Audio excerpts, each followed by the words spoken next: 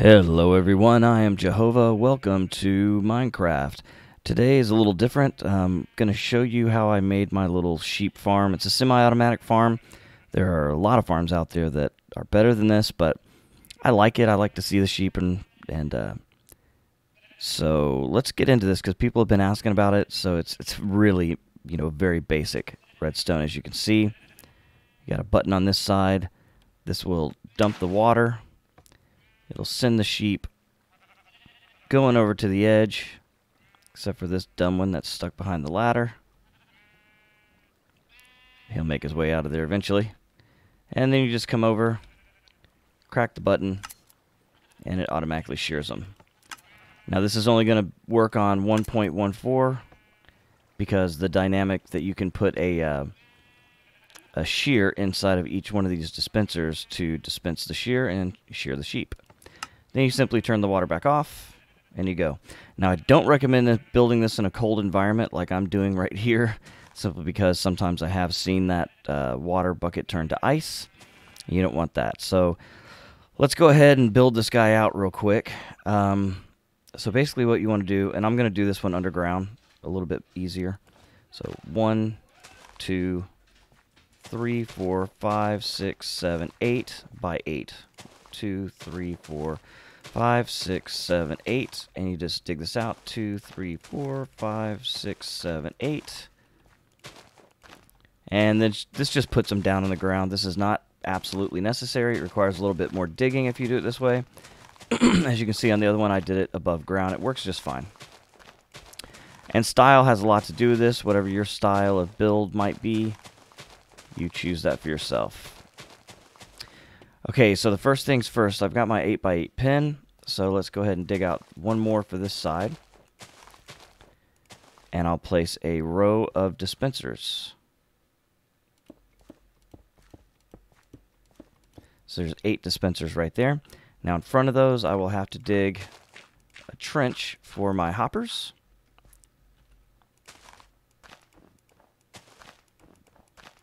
And this is where it really becomes personal preference what you want to do. So I'll put two chests out here. This is where I'm going to be collecting all of my goods. I will then make a row of hoppers, uh, hold shift to click the chest, and then just hold shift down and attach these hoppers to each other. And that means whatever goes into one hopper will go all the way down and be shifted to here. And I'll have it in this bucket, or this box, what do you want to call it. Now you have to dig this area out here. And this area right here. And you're going to want to rebury this later, and I'll show you why. Uh, okay, so then what we're going to do is put our repeaters, one repeater in front of each one of these dispensers, and a row of redstone leading away. Like so. And what I usually do is put a button right here. I don't have a button on me button. So I'll put the button, ah, come on,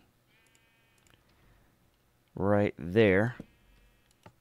And that will energize all of these dispensers right here. Now, very important, you want to put a block on top of each one of these guys. Uh, before I do that, well, no, let's go ahead and do that. It doesn't matter what block it is, but it does have to be a block because when you shear the sheep, what's going to end up happening is they're going to, their wool is going to bounce everywhere. And right here, you don't have to use a solid block. You could use a clear block like I've done over there. But it does have to be too deep in order for the sheep not to uh, escape.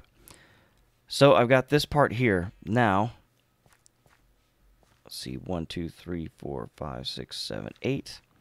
There's a couple ways to do this. I haven't really experimented with going uh, one more so I usually just do it right here. And then I'll put my dispensers down. You know what? We're working here. Let's actually see what happens to the sheep if we put it back here. So I'm going to put it at 9 instead. Now water flow 7 deep, so that should stop right at the edge of this dispenser. I'm sorry, right at the edge of these hoppers. Let's see if it'll push the sheep on over. I believe it will. So we'll put these dispensers down here. like so. And then what we're going to do is... I know why that doesn't work, because I've tried this before. Because the water will flow into... No, it won't. No, it won't. I'm getting ahead of myself. Alright, we'll knock all this out. And if you don't like to dig, again, you can put this all on top of the land. But you just come in here, put a repeater on each one of these, and then repeat the process of the redstone coming down this way.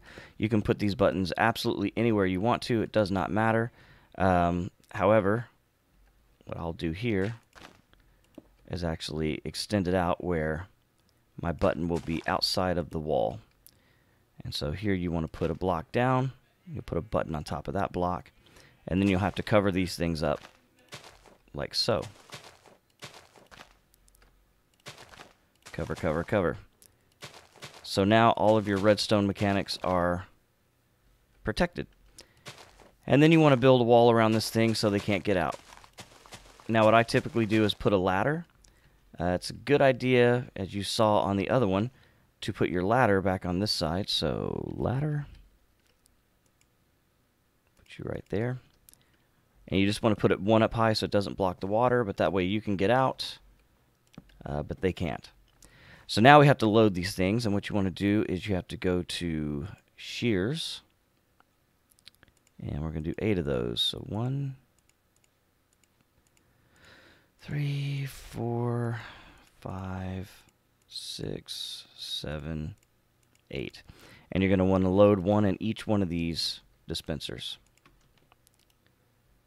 And by putting the shears in there, they're going to be ready to shear some sheep for you.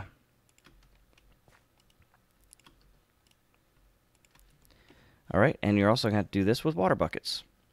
So we go grab some water buckets here.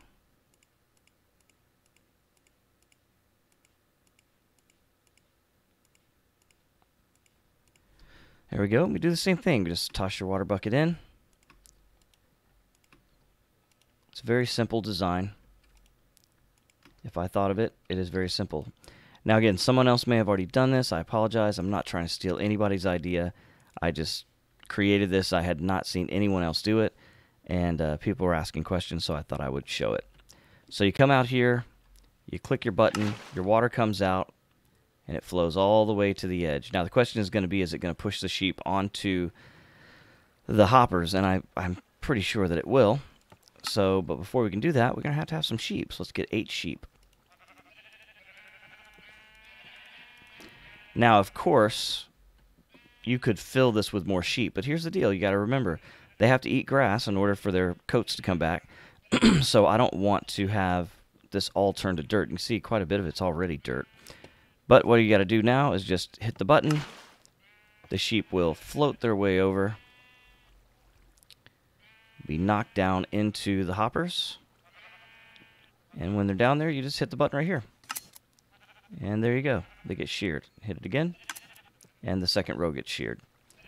So I've got a bunch of sheared sheep. And then you hit the button one more time.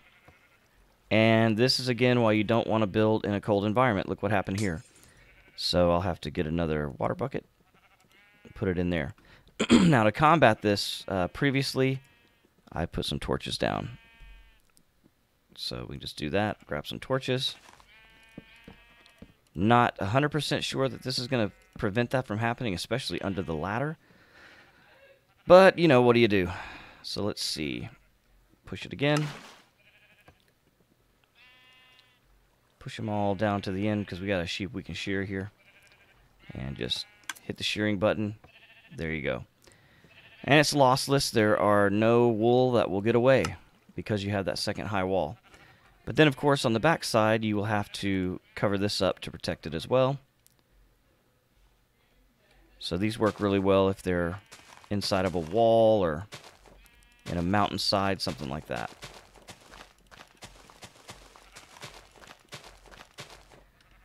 But there you have it. It's pretty simple design, pretty easy to build. Doesn't cost a lot of materials. You will have to go to the end or I'm sorry, not the end, but the nether world, so that you can get the uh, quartz needed to make the repeaters. But that's about it. Like I said, a lot of other designs out there, a lot more simple than this. But I like it because you can actually make fences up here like I did with the other one over there. I did glass. But you could put fences up or something like that, make it look cooler. Whatever design you wanted to make, it doesn't matter. At the end of the day, what matters is you will have a lot of wool available to you. And you could either make multiple pins where you have different colors and things like that. So I hope you liked it. If you did, hit that like button, maybe subscribe. Uh, until next time, my name is Joehova, and I will catch you later. Goodbye.